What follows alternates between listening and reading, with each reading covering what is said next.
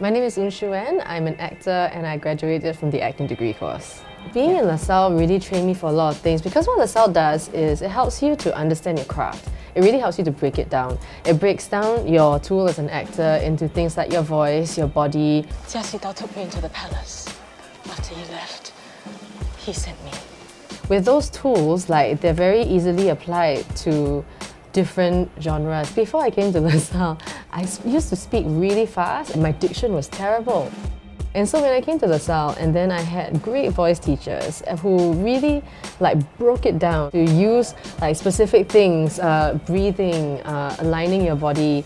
And then I went, this is how I speak slower, this is how I articulate. Not just by thinking it, but actually having like concrete steps. And that's what LaSalle gave me, a whole bag of tools to access things that I don't know.